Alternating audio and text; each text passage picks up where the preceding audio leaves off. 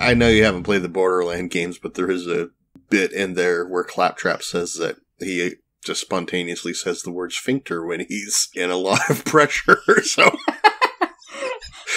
so he's my spirit animal. apparently, yeah, apparently you are just human Claptrap, which I'm sure isn't the first time you've heard that. Aww. Oh, Aw. that was mean.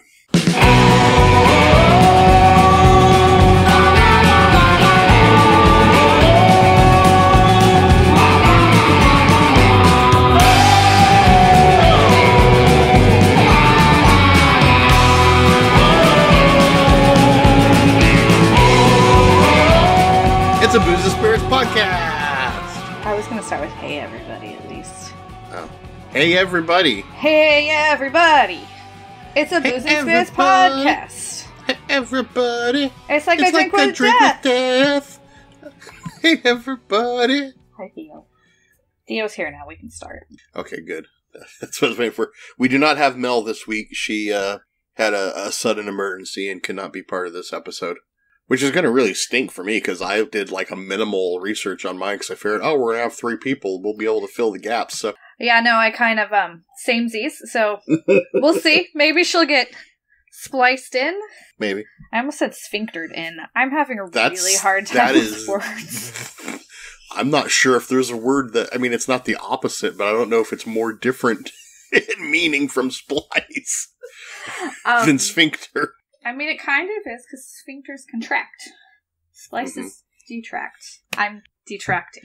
And there's all those mad scientists who are gene sphinctering uh, monsters together in horror movies. It's true. Um, I am. I don't know if it's just because I've been in large amounts of pain for. I think we're going on six weeks here, but words are really hard right now, and I apologize in advance. All right, so we're gonna we're gonna talk about some shit today. We are. Do you have a uh, not sponsor for this week? Oh no, I forgot that was a thing. It's Ooh. gonna be Theo's toenails though, Oh. because they're very aggressive, and he just put them in my leg. Not sponsored by Theo. not Uh, sponsored okay, well, I guess I'm assuming Or you have toenails. not sponsor. I'm not sponsored by sphincters. Do you have terrible heartburn? You are not sponsored by sphincters.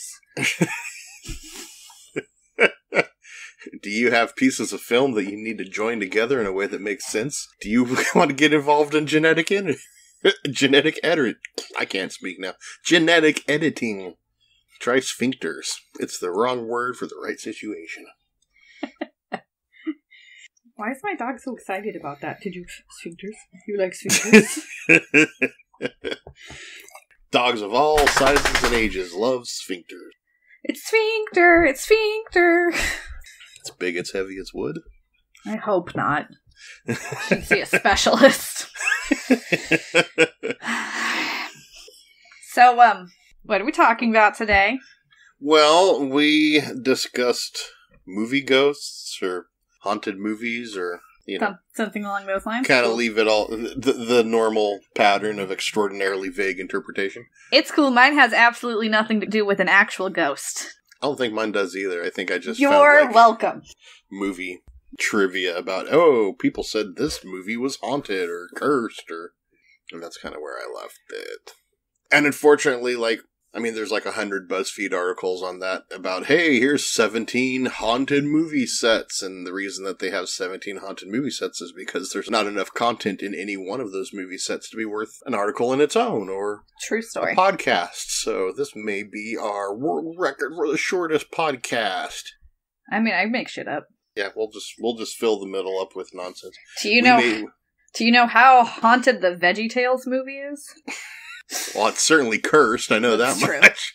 Cool beans. Am I going first? Are you going first? Go first. All right. So, I'm going to talk about a cursed movie that somehow is not even a horror movie because, you know, most of these cursed haunted movies are of the genre. Mhm. This this is not of the genre. Okay, good. And this movie doesn't exist because of this curse. Oh, I think I read about this one. So, The Curse of Atuk. I took Atuk. I took a dump with my wooden sphincter. Is there an alternate reality where George Washington had a wooden sphincter that's on display in the Smithsonian? That's the one we're about to live in. That's going to be the next Mandela effect. And they tell us it's a wooden sphincter, but it's really made from a slave sphincter. Yes. Multiple slave sphincters. that wasn't just one set of slave teeth. They've sphinctered a bunch of sphincters together and- Yes. to make a prosthetic. Okay. On track ish. We're going to 1963, Canada. Are you intrigued yet? Um, not exactly. Do I need to uh, bring a bunch of furs to trade? What are we doing here? Don't think the fur trade was that heavy in the 1960s, but okay. 1963, Canada. I know you're all intrigued right now. a man named Mordecai Richler releases a book, The Incomparable Atuk. It's a satirical novel. That is the original title. It was published in the US as Stick Your Neck Out. but The Incomparable Atuk tells a story of a Canadian Inuit who's transplanted to Toronto and quickly adopts the greed and pretentiousness of the big city. So, first of all, if this movie had been made, I'm sure it would be incredibly offensive. But oh yeah, there's no doubt. Like, I mean, think Nanook of the North, only trying to make it funny. they take this they take this book and they're like, this is this shit's hilarious. Let's make a movie. But let's set it in the US. So it's gonna be we're gonna find this Eskimo. We don't really use this word, I know that. But we're talking about the 80s here when that was acceptable. We're using, so we're gonna take this Eskimo. A documentary film crew is gonna come to his little town in Alaska. And when they leave, he's gonna hide on the plane and he's gonna make it to New York City. New York City. And it's gonna be crazy! He's gonna try to harpoon a bus. Essentially that's the summarized version of what the, this movie's going to be. But the story here goes deeper because in theory this movie and you know what? Logically this bullshit should be cursed. That makes sense to me. so a film adaptation was requested by a Canadian director named Norman Jewison. no, he wasn't. I can't make this up. I'm not saying no one made this up, but I can't make this up. So, in the 70s, a man named Tod Carroll writes an adaptation, moving it to the United States. Jewison starts making plans. They're gonna give the role of Atuk to John Belushi. I, I can see that. It's 1980s. You want someone to do stupid stuff on the streets in New York. Why would you not pick John Belushi? Like, Exactly. would- that- I mean, that would be my first choice. I'm perfectly honest. so he was offered the lead in 1982, but just a few months after he's offered the lead, to be fair, I did not find if he confirmed the lead or if he was still in the works of becoming the lead. But anyway, It might have interfered with his samurai time, uh, John Belushi dies in March of hmm. 1982. setting his brother's career on a trajectory from which the world has not yet recovered. I mean, he has good parties at his house, from what I hear. I haven't been to one, but it's nearby, and I think I should get to go. Do you remember when we went to Bumbershoot and David Cross did a whole bit about Jim Belushi biography? Not really, but I Oh, might have been that's like- drinking heavily. I do remember mom trying to, like, unintentionally crashing into him at the airport one time when they were picking me up. like, body to body, not like with a car. He was just, like, trying to get his luggage, and mom's just, like, being mom. Move it, you prick. Yeah, pretty much. No one likes you. then she texts me. I'm still getting off the plane. She's like, I might have just ran over a Belushi. Okay, great. great, mom. It's not the first time. It's not the weirdest thing she's done. John Belushi dies. He's 33 years old. There's drugs involved. Oh, were there? Yeah, weirdest, weirdest damn thing. I think his uh, girlfriend or whatever she was got charged with first degree murder eventually, etc., etc. Wait, really? Apparently, I need to look into this. I don't know nearly enough about John Belushi's death. Apparently, Well, I believe a woman was the one that gave him that final dose of heroin or whatever it was. yeah, but that's not first degree murder. That's like It is if you're a celebrity. And he resisted. I don't know. 1982. Fuckity fuck all. This isn't gonna pan out. Our star is dead. yeah, that's that's Yeah. why. It's 1986. They're like, okay, fine. Just get it back on the market. Let's see what we can do. We got to have someone snowshoe across the Rockefeller Center. Let's make this work. So at this point in time, they get Sam Kinison on board. because when I think Inuit, I think. Obviously. Sam Kinison. Nothing. No one looks more Inuit than that guy. So, uh, To be fair, at that time, Sam Kinison was about the biggest thing in comedy. So, I guess there is the star. filming starts in 1988. He makes it through eight days of filming, and then he's like, "Fuck this! Fuck it, guys! This isn't okay." That's my that's my Sam Sam? Kinison impression. Do you like that? Um, Yeah. So I guess he didn't like the way the script was turning out and the movie was being filmed, and he had been given creative override on things because he was Sam Kinison. Fuck yeah, you'd stupid. Then he uh, starts fighting with the studio, and then there was a lawsuit, and the movie is put on hold until 1992. And they start to set up production again. And then on April 10th, 1992, Sam Kinison dies. Sam Kinison did not die of a drug overdose, which, you know, would make sense, I feel like. But uh, he was uh, driving a pickup with his wife, I believe. Might have been a fiance. I think it was the wife. He's driving a pickup, and a 17 year old that is drunk crosses traffic and hits him head on. His best friend was in the car behind him, Carl LaBove, and pulls over and couldn't see any visible energies. And energies? Words are hard. He doesn't see any injuries, but he can tell, like, he is injured, but he can't see, like, the physical evidence. His wife appears to have a concussion, but Sam starts talking to himself. He just starts repeating, I don't want to die. I don't want to die. And then the witnesses say it appears he is talking to someone that no one else can see. I don't want to die. I don't want to die. But why? Okay. Okay. Then the man loses consciousness, and he's dead. From what I've heard of Sam Kinison, I can a thousand percent believe that story. So, um, his wife survives. Also, I, I am curious if his corpse was defiled by um, homosexual necrophiliacs, as that was one of his bits. Okay, because I am not sure. There goes star number two. All right, Mhm. they're not giving up. Fuck this. We're making this movie. it's 1994. Guess who they offer the role to, and he happily starts studying the script. Well, let's see. It's someone who died, so it's. uh, I'm trying to remember when did John Candy die. Ding, ding, ding, ding, ding. Nope.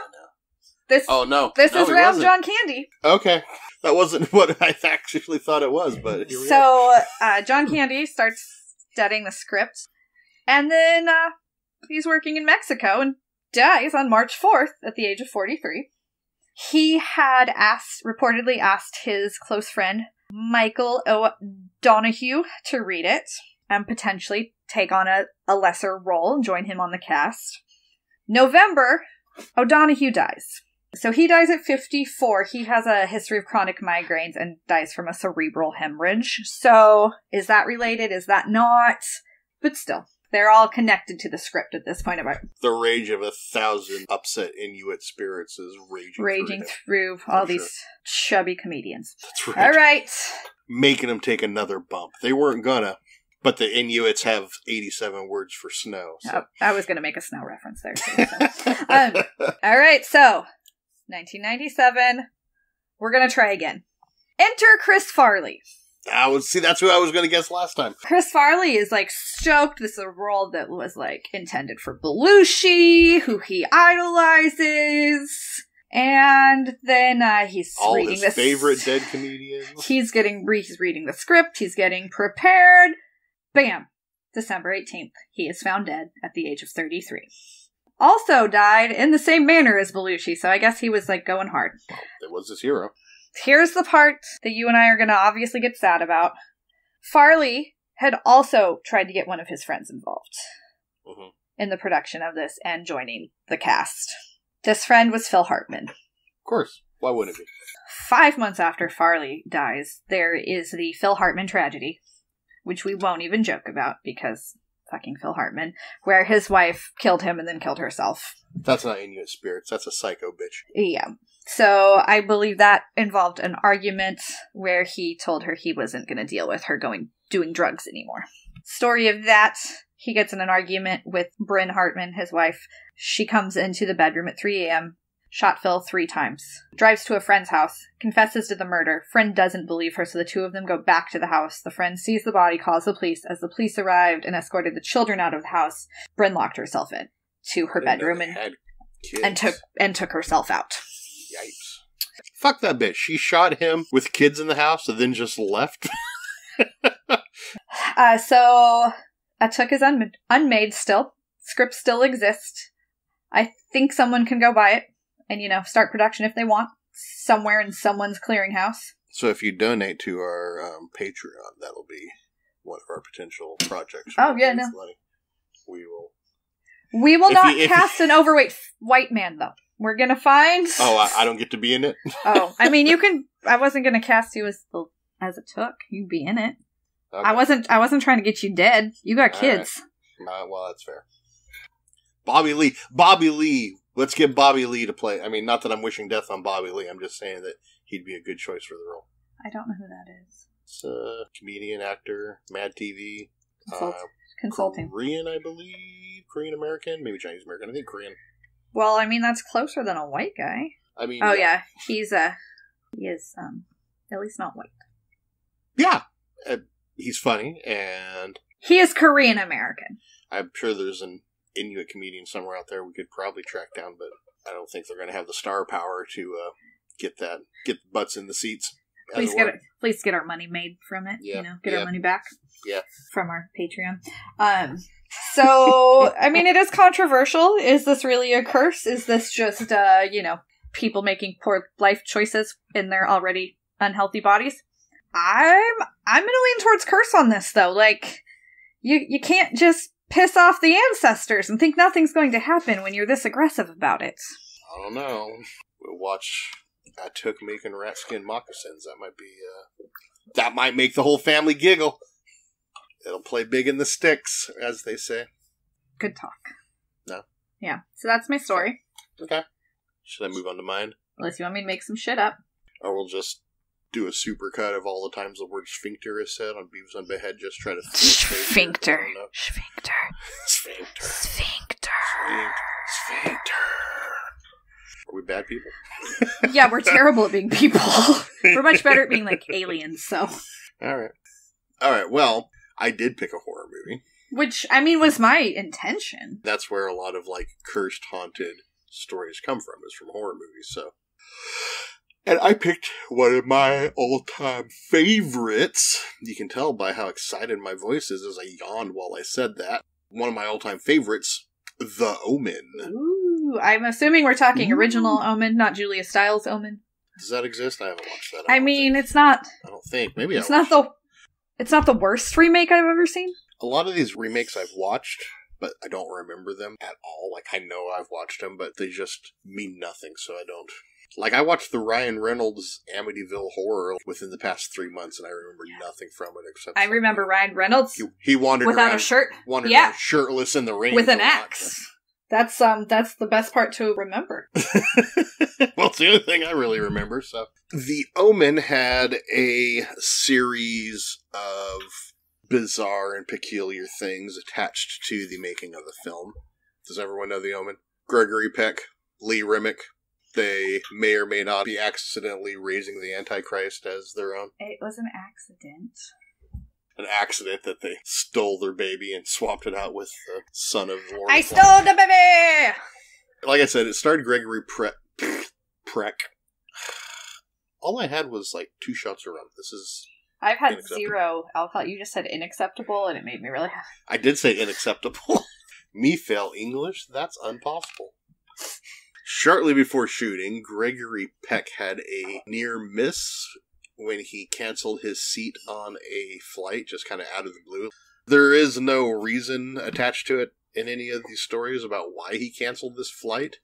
But the flight that he canceled his seat on ended up crashing and killing everyone on board. And this is a particularly cruel twist of fate. When the plane crashed, it hit a car on the ground that happened to be carrying some of the pilot's family members Jesus inside. Christ! right? So, so we're already off to a good start here. Later, Gregory Peck took a plane to England to go shoot the movie, and that plane was struck by lightning. Uh, luckily, no one was injured. The writer, David Seltzer, he took a plane to England to join the cast and crew two days later, and it was also struck by lightning. Killing it, killing the game here, guys. Executive producer Mace Neufeld, which, like, is there a better mid 70s name than Mace Neufeld. I just love that name. Norman Jewison.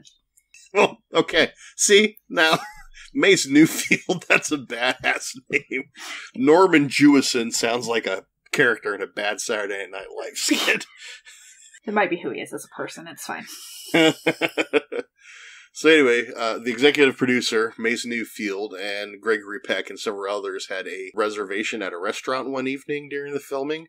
But they did not get to go and make that reservation because before they made it to the restaurant, it and the building were destroyed in a violent explosion. Oh, I mean, it's best it happened before you got there.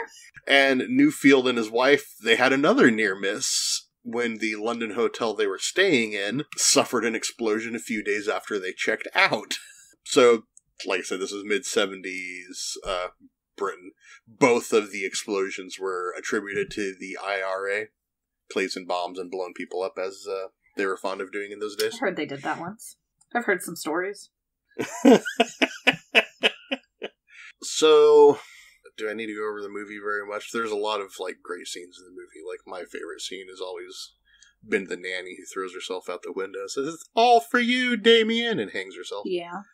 I believe this is kind of like in the second act of the movie where uh, Peck is running from dogs in a graveyard.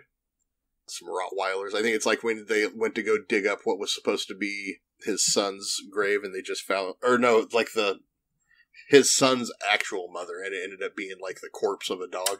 I, I vaguely remember this. Yes, it's been a while since I've watched it. So they were running away from Rottweilers, and they they had a stuntman, you know, doing the running, running away from the Rottweilers. The Rottweilers attacked the stuntman and bit through his protective suit. That's impressive. Yeah, and uh, they ended up giving him some pretty heavy injuries, and they absolutely refused to acknowledge their handlers as the handlers were telling him, "Hey, stop, stop." These professionally trained dogs that have only Yes. ever done this this time where they don't listen. Yeah. Um. Another another big animal scene is the baboon scene. Do you remember that one? Yes, like they go to the zoo, right? Uh, yeah, they go to like wild animal park and where they drive through, and there's a baboons area, and then all the baboons go crazy and start beating on the car because you know it's got the Antichrist in it, and they're trying to do their due diligence. Um, for that scene, the original plan was to, or uh, not just the plan. What they did was they put a live baboon in the back seat of the car with Lee Remick and uh, the actor playing Damien because they thought that would antagonize the baboons on the outside, and you know that would make them start attacking the Seems car. safe. Uh, yeah, well, yeah, good plan. Instead of attacking the car, they all turned on the handlers instead. so, so we have some more animals that uh, are just tired of their shit, right? The biggest incident, though, was that one of the baboon handlers died the very next day after they finished shooting that scene. He was mauled to death by a tiger. According to reports, like the tiger just put his mouth in his head, squeezed, and it was over. Like it was. There's some derping happening. Sorry. Yeah, there's uh, there's another incontrollable animal uh, over there. I can hear. Ow! And he's hurting me with his toenails. oh. Hi. Thought this show was not brought to us by his toenails. Yeah, there they fucking are again. Get your snoot down. derp derp. Thank you. Okay, go on. So, the final and uh, possibly most harrowing tale from the set. The day after filming wrapped, special effect director John Richardson and his assistant slash wife Liz Moore were in a serious car accident. Richardson was knocked unconscious, and Moore was decapitated by a tire. In a lot of ways, kind of mirroring the scene in the movie where the guy gets decapitated by the sheets of pane glass. Oh, it's real cheery. Yeah, and uh, Richardson claimed after the fact that just before the accident, he saw a road sign that listed the town of Omen, O M M E N, being 66.6 kilometers away.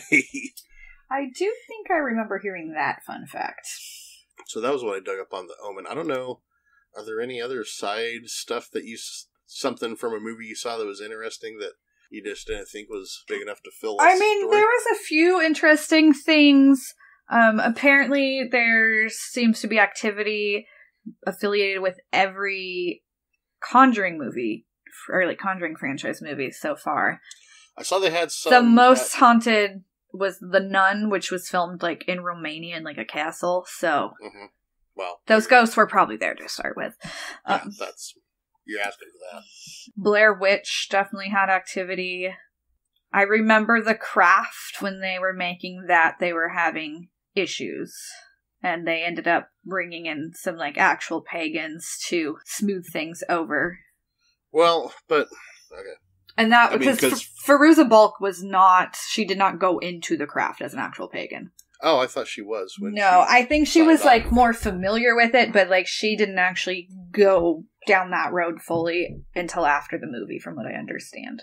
the the one, and I don't know that this is a curse or anything, but the story that always sticks out to me is the one from the filming of the Twilight Zone, the movie, where the lead actor for one of the stories and two of the children that were part of the story were killed in a ridiculous helicopter accident. But I don't know that was so much as a, of a curse as much as the director not following safety precautions and trying to go over blowing on the uh, pyro budget. Well, and then there's, I mean, there's obviously the curse of Poltergeist, which I believe what was what Mel was going to talk about That's what she was going to talk about. With all of the death and destruction on that. And, you know, what do you expect to happen when you're in a pool full of human skeletons that you were told were fake? No one said they were fake. That's a misconception. In the 80s, if you wanted a skeleton in a movie, you ordered skeletons from India because that's how you got skeletons. No, there was no fake skeleton market That's in the true. 80s for making movies. But they had they had what? Four actors die in 3 years or something like that. Yeah. Our friend Jake, he told me one time that his grandparents lived down the street from Heather. Hmm. That was a little girl, right? I think so. uh, Heather O'Rourke, and uh, when he would go visit his grandparents, he would go play with her. And one summer, he went down there to go play with her because he hadn't heard what had happened, and that's what he, that's how he learned that she had died. Um, The Exorcist was supposed to have a haunted set. This was interesting. I saw that Ghost, Patrick Swayze. Yeah. That whole movie Oh, yeah. was was was haunted. by Heather supposedly, O'Rourke. yeah, supposedly with by the ghost of Heather O'Rourke. I Like, they- believe that was going to be the basis of the main part of Mel's story. She told me specifically the ghost of Heather or Heather or oh uh, d- b- b- b- Gibbet, gibbet, um I know gibbet, gabba, gow. Vera Farmiga when she was doing the Conjuring movies was getting a lot of like mystery bruises and claw marks on her body. Yeah. Apparently the inexplicable events during the possession turned Jeffrey Dean Morgan from a skeptic to a believer in the supernatural. I saw that, but I also thought that like everyone had debunked Dybbuk boxes by now was I don't know. because that's what that movie was based on. It was based on the big Dybbuk box story that was floating around in paranormal circles at the time. Well, that doesn't now- mean now, like, weird 10 shit 10 wasn't years happening later. there. Well, I mean that's fair. Now, ten years later, also you know that we're talking about paranormal and metaphysics here, where you know believing is half the battle. So. Yeah. Spicy psychology, we call that. uh, three men and a baby. We decided that wasn't a real ghost, right?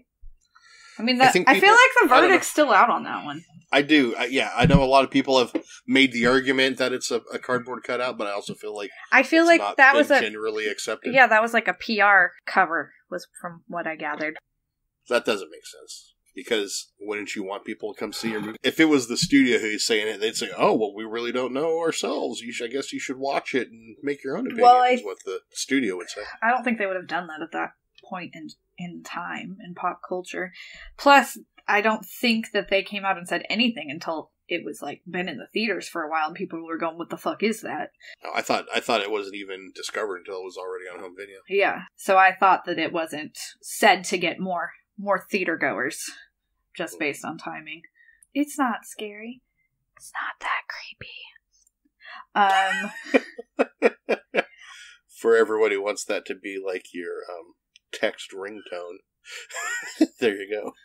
I believe I don't this I don't know if we want to count this as a movie haunting, but Lucille Ball had an office built on the studio lot. Which studio was she with? Desilu. Well, it was on one of the bigger lots, like Time Warner or something. She had an office built that was a replica of her house with a park across the street, so she could stage publicity photos with her children when she was working nonstop and not actually spending time with her children. And I believe that is supposed to be haunted by her ghost. I saw lots of ghosts in Ghostbusters. There was a green one who ate hot dogs. Yeah, Is that not what we're talking about? potentially. So, did you come up with a haunting movie drink? Yes, it is called a derp and soda. And a derp puts his face in your drink, and then you cover up the dog's taste with soda.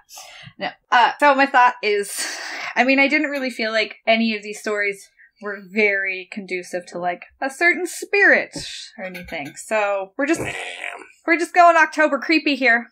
October creepy. Woo! It's Spooky Month! Everybody dance for Spooky Month! Spooky month, spooky spooky.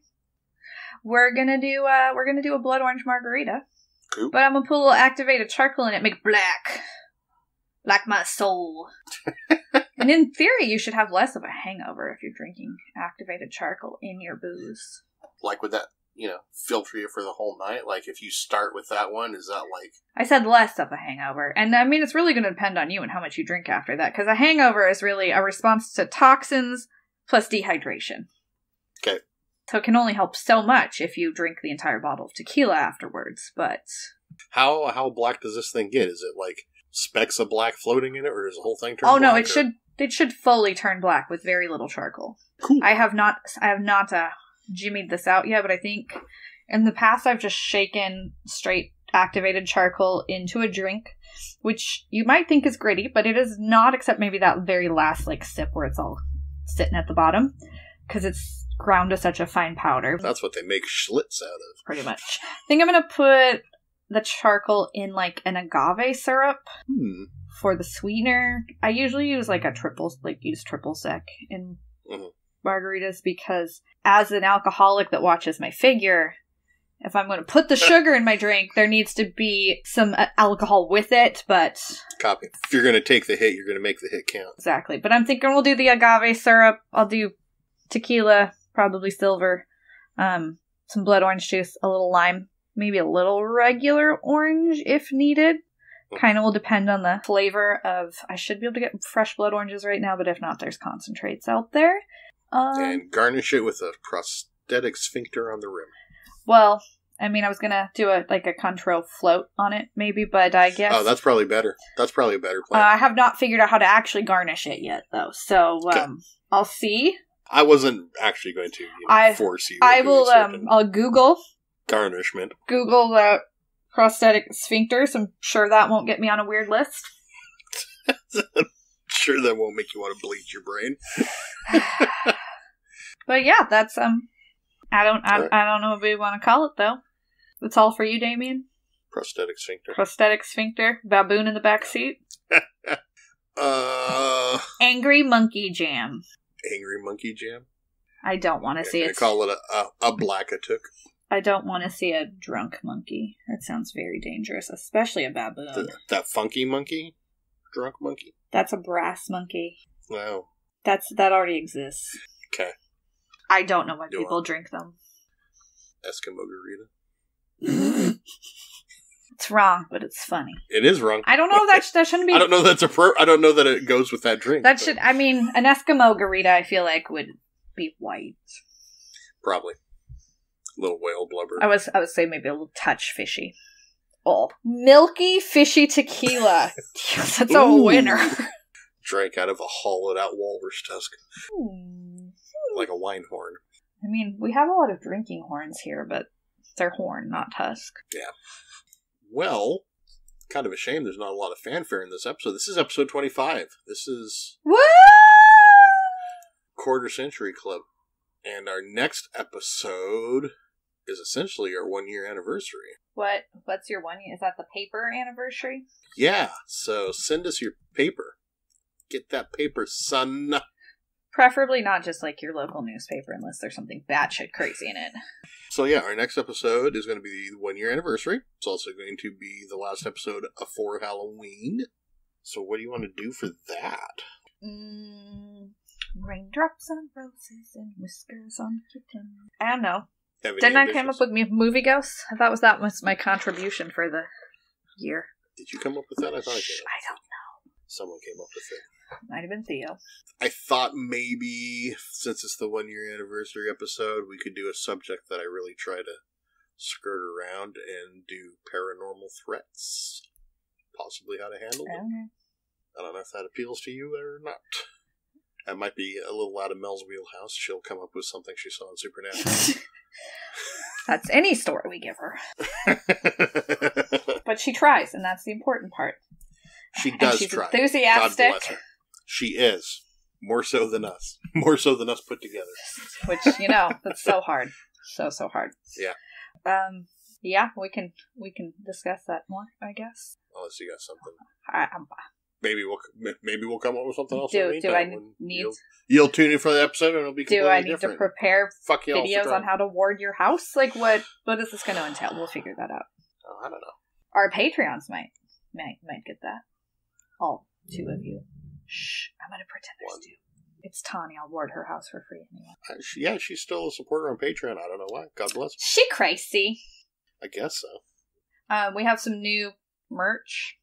But, well, yeah, that's what I say. This episode is going to come out on the um, 14th, I believe. No. 14th. 15th.